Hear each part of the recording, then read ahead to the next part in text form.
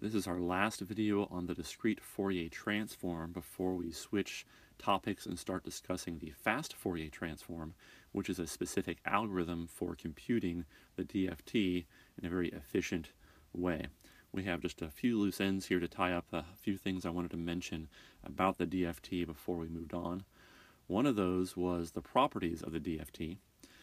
Obviously, since the DFT lets us compute either samples of the Fourier transform or samples of the discrete time Fourier transform, it's probably not too surprising that the DFT inherits many of the properties that the Fourier transform and discrete time Fourier transform have. For example, we're going to list these right here. The uh, DFT is a linear transform, which means if I have a linear combination of signals in time, the DFT of this linearly combined signal is just a linear combination of their DFT coefficients. So just like the Fourier transform and the discrete time Fourier transform, the DFT is a linear operation. Note that we're not going to prove any of these, we're just going to state them because they should sound very familiar to the properties we have proven for these other transforms. Just like these other transforms, the DFT has conjugate symmetry. If I um, shift my samples of my DFT coefficients by uh, some amount, that conjugates in the other domain. So that should sound um, kind of familiar. If I do shifting in the time domain, so time shifting, so if I actually take my signal and I shift it some amount, that introduces an exponential, so a complex exponential with kind of like a phase slope in the frequency domain. Again, that should sound very familiar. We've uh, seen time and time again that shifting in one domain introduces a linear phase in the other domain. Uh, we see that again here on the frequency shifting property. If I shift in one domain, I get this exponential in the other domain. And then there's also nice properties with convolution again. We know that when we deal with linear convolution, linear convolution in time is multiplication in frequency. Something very similar here happens with the DFT. Convolution in time is multiplication of the signal's coefficients in frequency. The subtle difference here is this symbol. Usually we would write down the convolution operator there, and that's almost what I wrote down, except it's a circle around it. Instead of just that star, there's a circle. We use that symbol to represent something that we call circular convolution.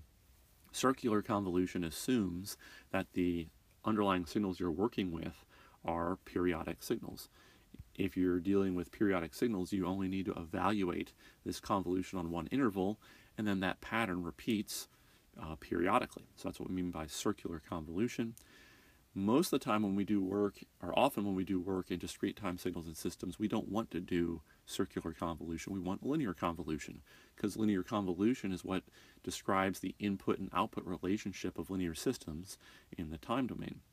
So one thing you have to be careful with is if you want to use this property here of multiplication in time is convolution, I'm sorry, multiplication in frequency is convolution in time, and you're using your DFT coefficients, the convolution you're going to get is circular convolution, and that might not be what you want. If you really want linear convolution, you have to take care to perform zero padding, to pad the signals appropriately, and then do the multiplication in the frequency domain with the DFT coefficients of the padded signals to get out linear convolution. So some of the details about how you go about doing this are listed here. We will actually work through an example of using DFT coefficients to yield linear convolution by doing this zero padding appropriately later on in this video series once we discuss the FFT. So pay attention and read through these bullets here. Be aware that there is a thing called circular convolution.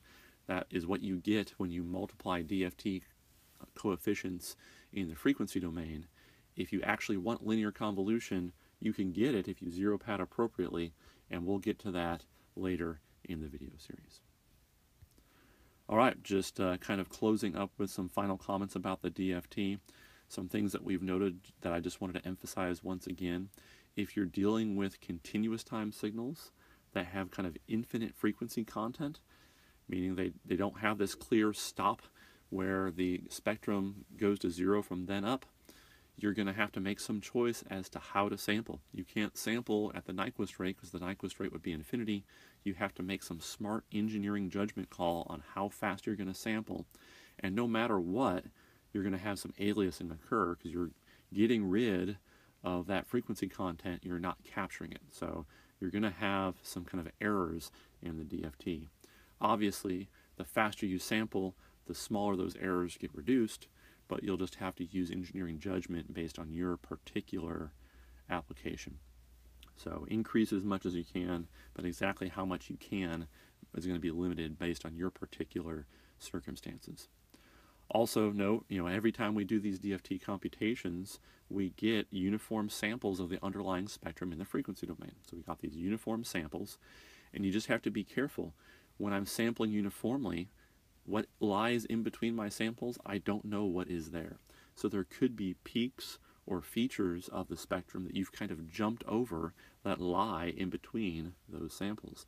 That was really the whole point of the video we did just a minute ago about resolution and zero padding when we dealt with those two sinusoids. So just be aware that you might be missing out on some of those peaks.